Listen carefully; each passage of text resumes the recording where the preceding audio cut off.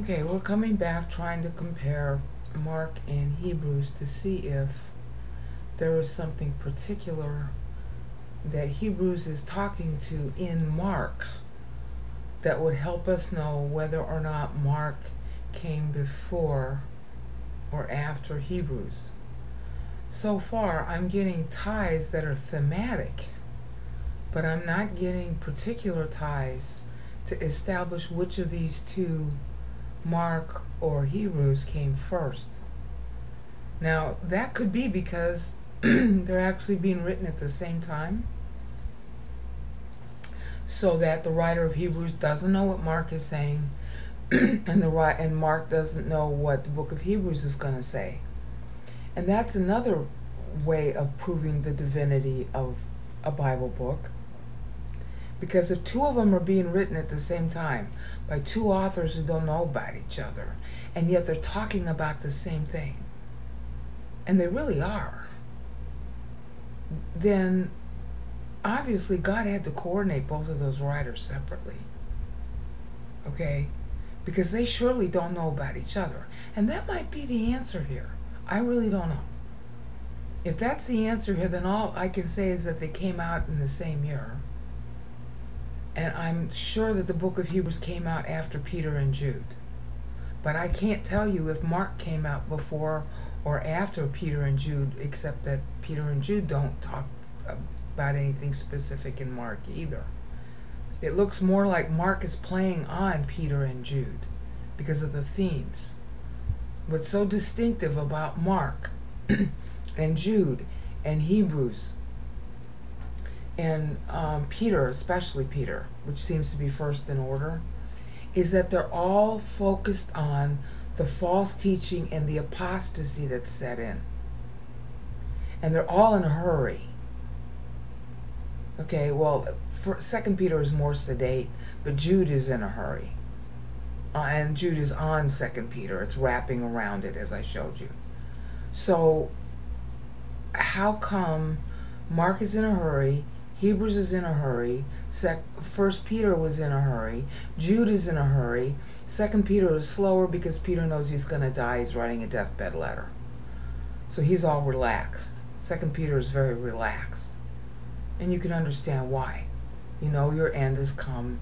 It's finally over. You can finally just sort of go, oh, okay, I'm in the last stage of my life, finally. I mean, personally telling you about my own self right out, I wish I were dead yesterday. There's nothing here to want to live for except Scripture.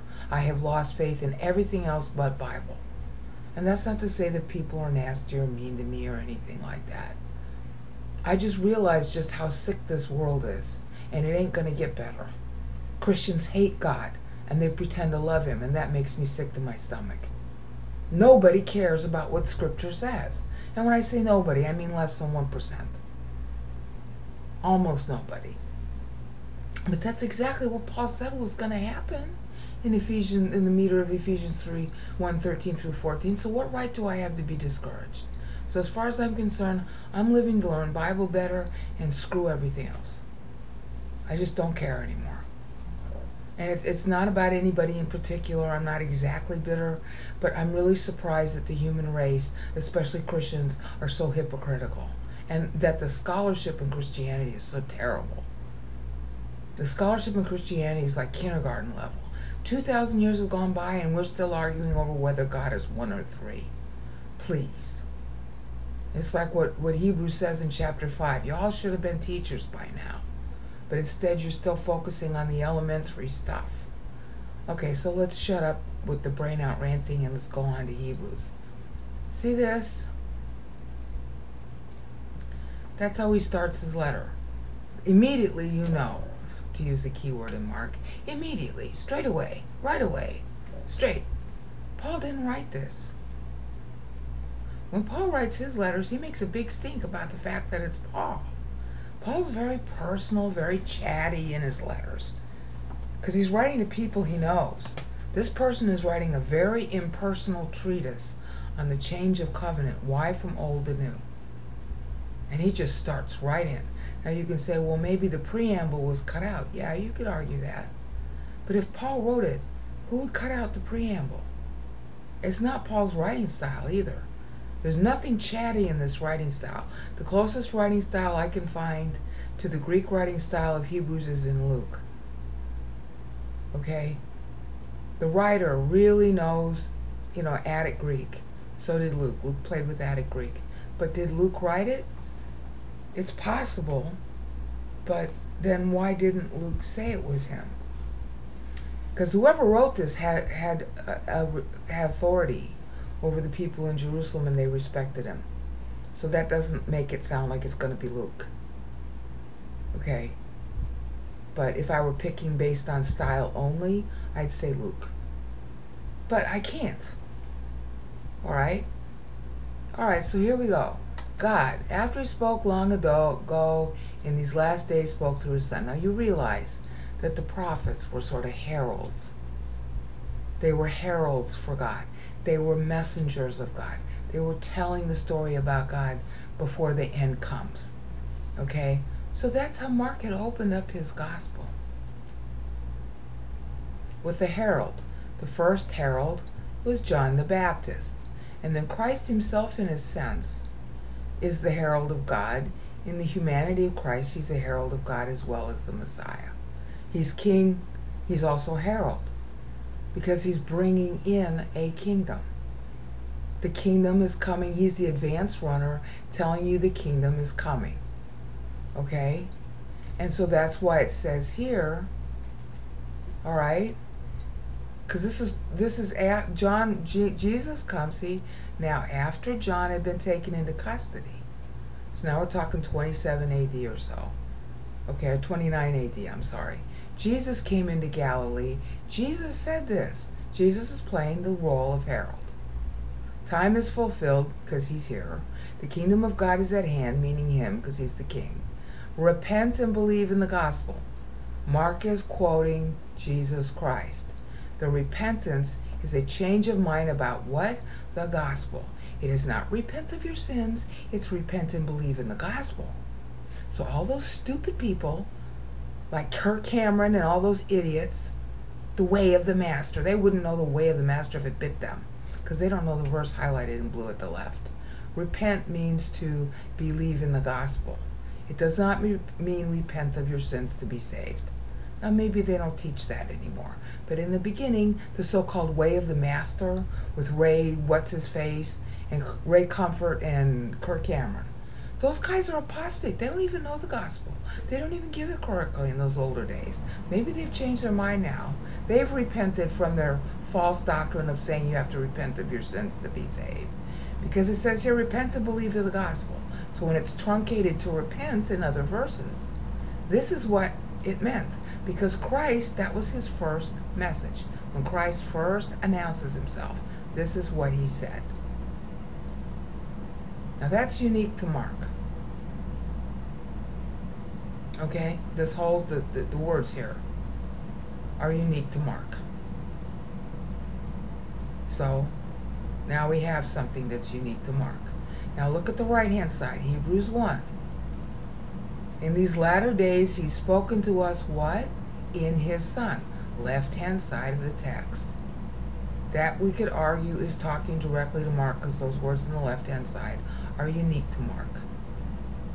The other Gospels have snippets and parts of saying this, have parts that are saying this, but none of them say this whole sentence. That's unique to Mark. See, after John had been taken custody, Jesus came into Galilee, preaching the gospel of God, saying this. That's a full sentence, a full quote of Christ by Mark, unique. Parts of that quote are in the other Gospels. All right? So this is an instance where Mark slows down, and instead of just quoting the other Gospels, he's giving the, you the full quote that the other Gospels don't give you. Because the other Gospels don't say this. They say repent, and they, they truncate it because repent was shorthand for this whole phrase that Christ himself said. So all those people saying you got to repent of your sins to be saved are ignoring this. Here's your definition of repent. Okay? Which everybody at the time heard it, knew that already. So the writers of Matthew and Luke, they didn't need to say the whole sentence because everybody knew what it meant. Except us dumb Christians who aren't reading all the gospel before we start shooting off our mouth. Okay, so the left hand side, the Son is speaking, right? God, after using the prophets, which were heralds, in many ways said through his Son. So now I can sit there and say, okay, this looks as close as a direct reference to Mark, because on the left-hand side, this is the only place it appears. That look, that's as much of a you know direct reference as I'm going to find so far. What's troubling is that I don't find the word tereo, meaning to keep, that's used prominently in Mark and um, I mean in uh, Peter and Jude. I don't find it used in Hebrews at all, which is like why, because it's such an important verb. And I don't find the word immediately or eutos used in the book of Hebrews either. Now I do find synonyms, but synonyms, it's like, why am I finding synonyms if he's pointing at the scripture? See, if Mark is prior to Hebrews, then Hebrews has got to have something in it that points directly at Mark. And all I can find that is really close was that reference in 511, Hebrews 511 through 6 6, that's pointing at Mark 4 24 and 29, but that's kind of a weak link. You know, it's talking about the water, you know, in Hebrews versus, you know, the soil in Mark. Because it takes water to grow. And that was unique passage in Mark. Okay, but now if you look on the screen here, you see on the right hand side Hebrews saying spoken to his son. And that could be a direct reference because that's exactly the theme of Mark's gospel. Is the herald, make straight, get ready. And here's Jesus Christ acting as the herald, even though he is the king also. Talk about humility, boy. Wish I had that humility. All I want to do is shoot people who won't listen to him. Okay? Spoken to us through his son. Aren't you glad I'm not God? okay, on that note, I'm going to sign off for now. Okay, so now we're coming to another thematic um, tracking between Hebrews and Mark. Again, because it's a theme rather than direct quotes, it's a little iffy to say that Hebrews is talking back to Mark it's just as possible to say that both these two writers are writing on the same things in a coordinated manner at the same time, but they don't know that they're coordinating with each other. God's doing the coordinating, the Holy Spirit. So, you know, we saw in Hebrews 1 um, on the left, the time is fulfilled, the kingdom of God is at hand, repent and believe in the gospel. Jesus Christ acting as herald, and he's also the king whose road needs to be made straight. Prepare for him.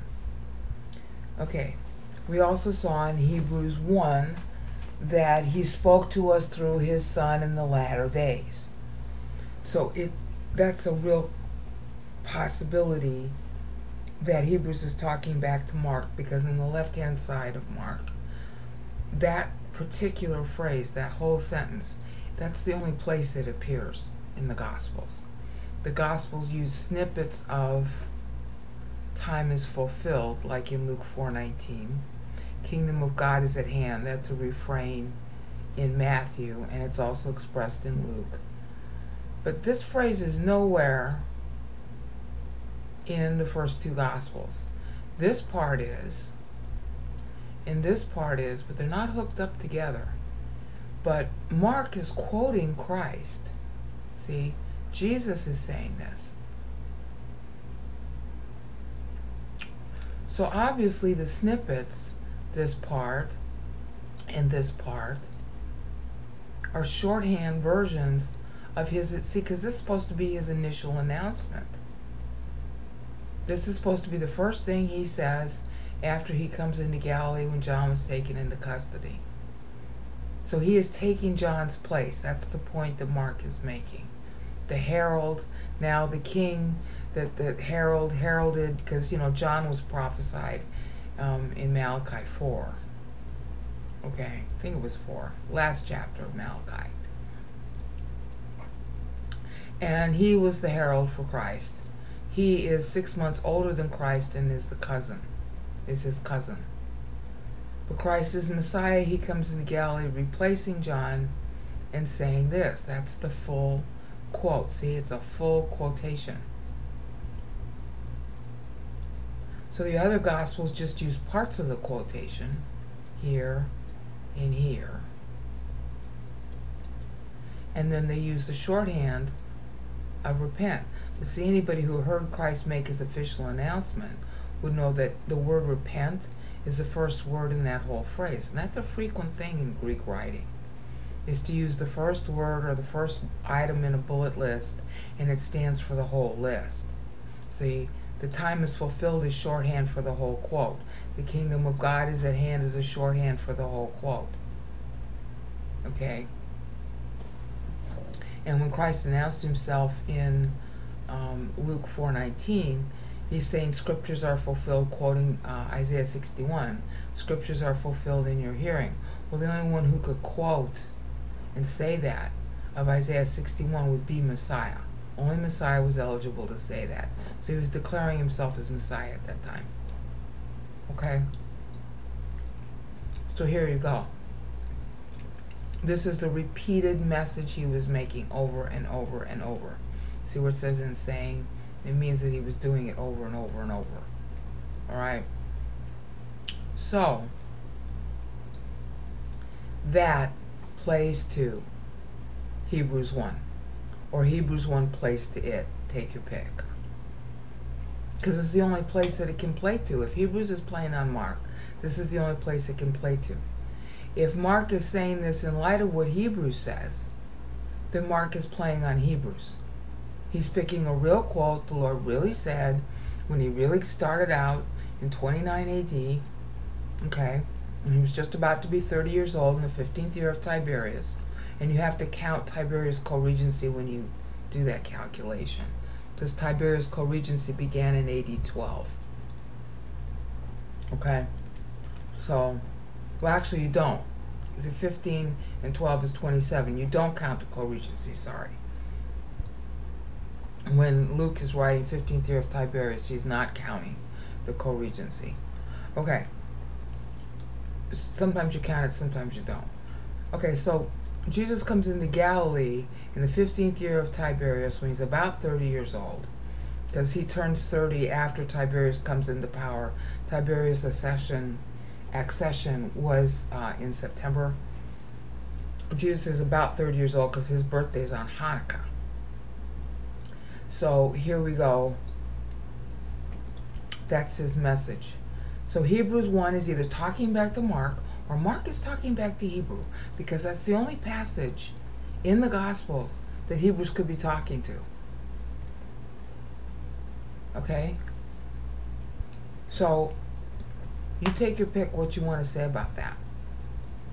Now here's our next instance. Sorry it took me so long to get to the point. Right hand side, Hebrews 2 1. How will we escape if we neglect so great a salvation? You can't neglect a salvation you don't already have. So he's writing to believers. How will we escape? See, for this reason, we want to pick, see, the reason of this happening, Operation Footstool, my pastor likes to call that verse. For this reason, we must pay much closer attention to what we've heard so we don't drift away. That's going to be the theme of his the rest of his letter. For if the word spoken through the angels, because they used to teach scripture, and he's playing on Jude here. Okay. You know the Jude verse about Enoch, I'm not yeah, about Michael and Satan proved unalterable and every transgression received a just penalty. That's what Peter and Jude were talking about. Okay, how will we escape? And that's how Peter ended, is that the judgment of God, it's time for the judgment of God to come, and it has to start with us, the house of God. Okay? It's obvious that Hebrews is playing on Peter wrapping around it. Okay, that that's real obvious. it's not so obvious as whether it's playing to Mark. Well, here's another instance where it might be. How we escape if we neglect so great a deliverance? See, because it's coming out in a rush because the temple's about to be destroyed. There are believers who are still in Jerusalem who aren't listening that they should get out of Dodge. All right, all the apostles have gotten out. They got out back in 64. Jude was written in 66, is what it looks like. 66, 68, rather. 68. So we'll just be charitable and say somewhere between the two dates. Luke is dating his own letter as 66 AD but their 68 would 66 AD. But their 66 would be our 68, going by Paul's Anno Domini accounting in Ephesians 1. So how do we escape if we neglect? Neglect. Not ignore, neglect. You neglect something you own. You neglect a relationship you have. You neglect property you own. So you have salvation. You can't neglect what you don't own. You can't neglect what you don't have. So this is written to believers. So anybody thinking that Hebrews 6 is addressed to unbelievers, they can't read the Bible because he's telling you, hi, this is my next theme. This is why I'm writing. Because we're neglecting it. And like Peter said, the judgment has to come to us first. And now he goes after it was first spoken through the Lord. Okay, left hand side of the screen. Again, Mark is the one who's putting that through. See? In the last days, the prophets. The last prophet is John. Okay? Jesus Christ is the announcer of our salvation, left hand side of the screen. See, he's leaving out the prophets now because he established that the prophets came and then they got replaced by Christ as Herald. Okay, well, left hand side of the screen, Christ plays Herald. You see the point? And then it was confirmed to us, the writers of Scripture, the apostles, the believers, by those who heard. This is answering John 17 prayer, but John 17 hasn't been written yet. But still, everybody knew about it. God also testifying with them that means those who were confirmed who heard him. God also testifying with them.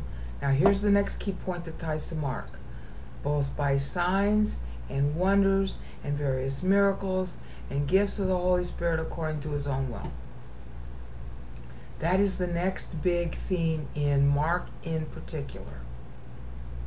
That is the specialty of Mark's gospel. Mark's gospel is very biting.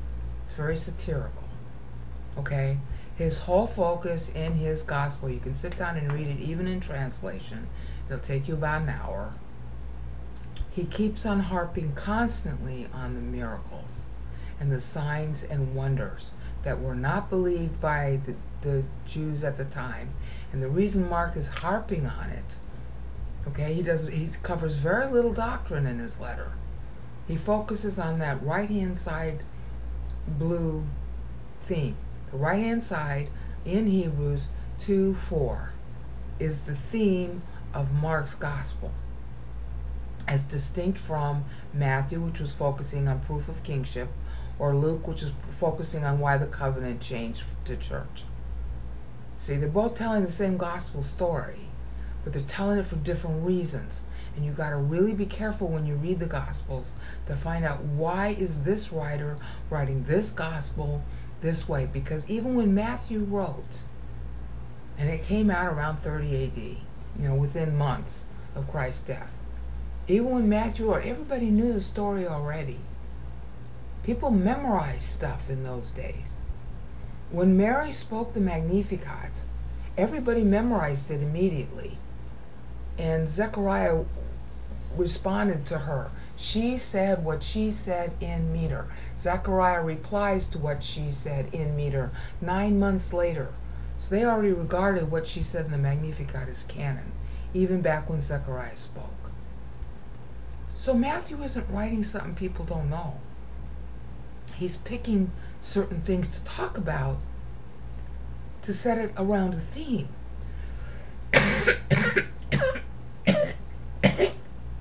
Sorry, I'm using a cough drop, but it's not helping.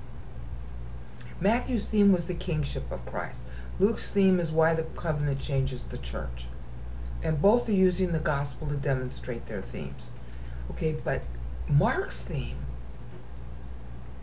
is about signs and wonders. Here's our first sign Jesus himself.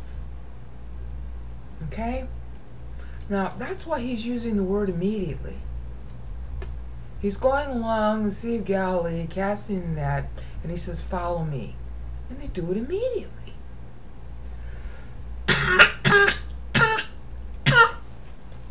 now, why would they do that if they didn't have supernatural proof he was the Messiah? That's the point Mark is making by using this keyword. Next in order, it's a sign from God.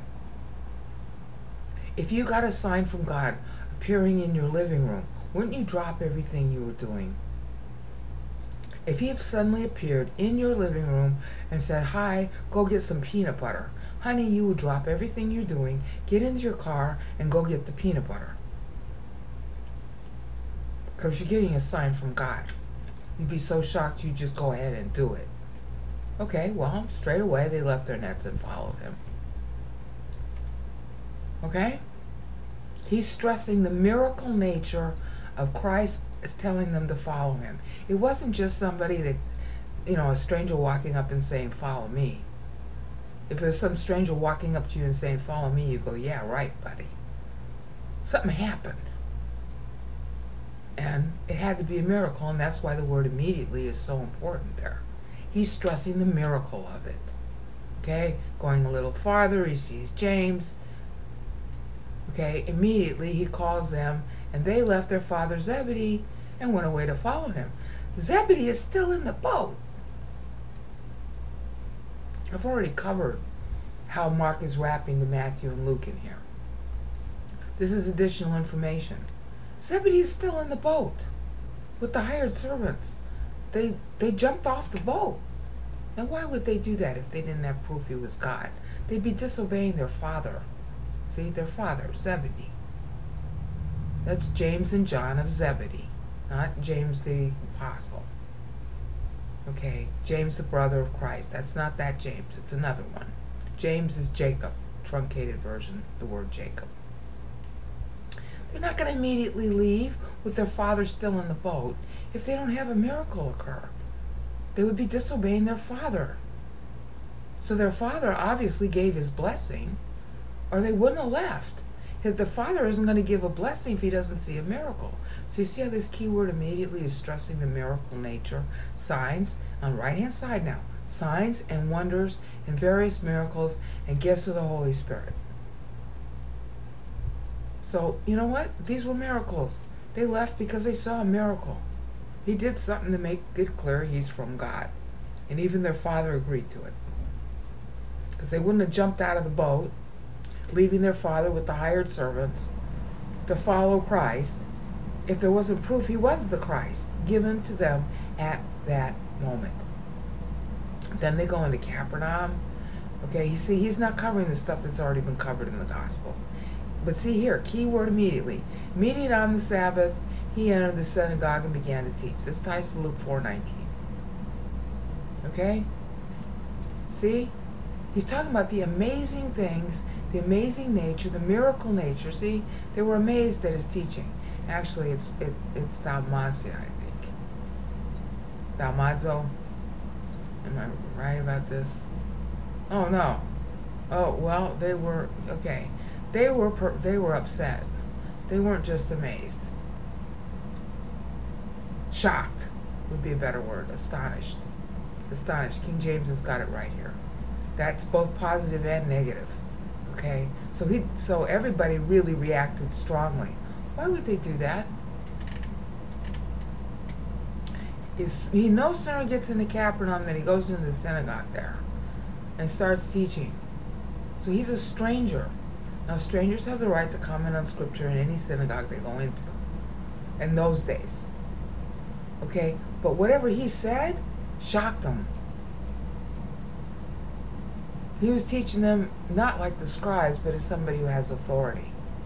Okay? And then, next miracle, see, the miracle of his talking. Signs and wonders of his talking. hence astonishment, amazement. Then another miracle. Man in their synagogue with an unclean spirit, and then Jesus rebuked him, and then the unclean spirit came out. And again, see, same verb, they're all astonished. First, the miracle of his teaching, and now the miracle of his casting out the unclean spirit. See how Mark is paralleling miracle, miracle, sign and wonder, everything on the right hand side of the screen in Hebrews 2 4. That's exact. Mark just goes bullet, bullet, bullet, bullet, bullet. Just go read the gospel yourself. I'm not. I can't spend this whole video going through it all. The theme that you've seen just happen just now is the entire. It's the way his whole gospel works. It's bam, bam, bam, bam, bam. You got this miracle and this sign and wonder and this gift of the Holy Spirit and ba ba ba ba ba ba ba ba ba. And the key word immediately is used to stress the miraculous nature of it right away. Okay? See? Another miracle. Miracle after miracle. He's leaving out all the doctrine that was taught and just talking about the signs and wonders and various miracles. So now that gives more credence to book of Hebrews being after Mark's gospel. So it would be fourth in line see how I was really wrong because I didn't do my homework enough when I said in episode 5C that Hebrews was probably first.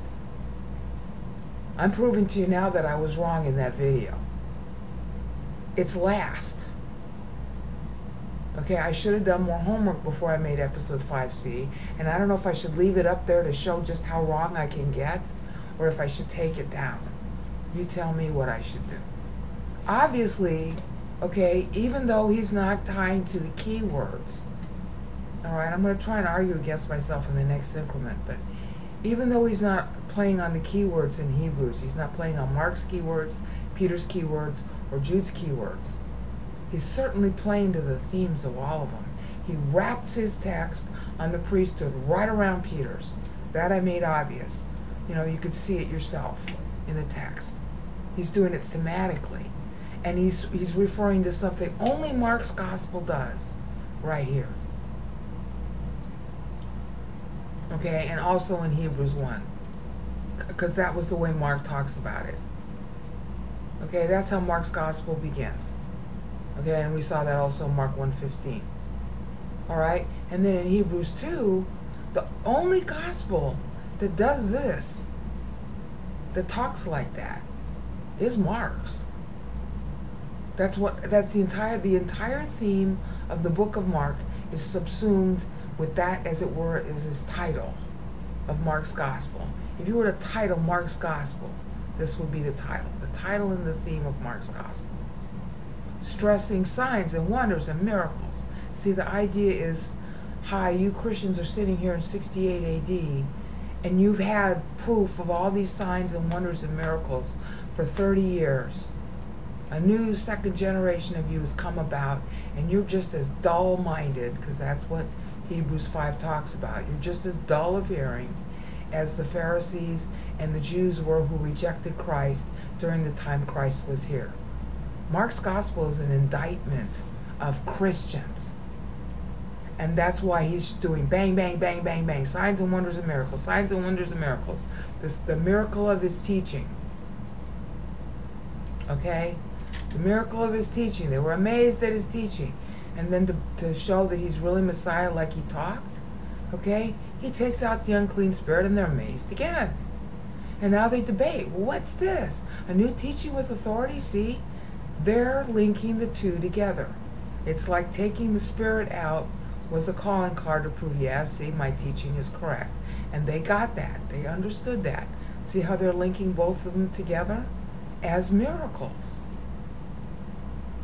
as miracles. So another miracle. Immediately the news spread about him everywhere. And immediately after that, they came out of the synagogue. They came into Simon and Andrew. And now we got another miracle, Simon's mother being healed. See, a miracle, meaning, meaning, bing, bing, bing, bing, bing, bing, bing. So are we surprised that Hebrews writes like this? To me, this is, you know, it, I, I'm sort of being sloppy. You know, I need to do more homework on this But unless I find something terrifically contrary to this, I'm going to claim that Hebrews is subsuming all of the Gospel of Mark right here.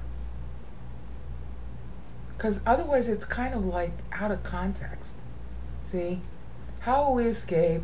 Confirmed to those who heard. God also testifying with them by signs and wonders and miracles and by gifts of the Spirit. He could leave that whole verse out. And still the meaning would be there. But since Mark's gospel is strictly on this topic, okay, then he subsumed the whole gospel of Mark right there. Now, if that's not so, if instead Mark is last, then Mark is keying his gospel off this. Or keying his gospel off this in the book of Hebrews. Because Mark's gospel is a warning to Christians that they're being as obtuse as the Jews were when Jesus was down here. And of course, that remains true today. Believers, Christians are always looking for signs and wonders and miracles, and every single day they get them. If you read Bible at all and understand it, you have to use 1 John 1 9 to do that if you understand the gospel at all, that's a miracle that comes from God. And there are certain verses you can read in the Bible even when you're carnal and understand that. But it's spiritual information, 1 Corinthians 2. The only way you understand anything is through the Holy Spirit. And there are certain verses and topics in the Bible that even the unbeliever can understand. And therefore the believer who's carnal can understand. But the Holy Spirit's still working on you just the same. But to understand the spiritual information, you have to be filled with the Spirit to do that. 1 John 1 9 is required. Okay? Because you're not, you don't have God in you if you don't um, use 1 John 1 9. You have to take purification for your sins. That's 2 Peter 1 9, which was written before 1 John 1 9. And of course, that's Peter's referencing the Old Testament. And like like you know, uh, David says in Psalm 32 5, in Psalm 66:18, if I if I don't if I don't name my sins to God, He's not going to hear me. Yeah, and you're not going to hear Him either.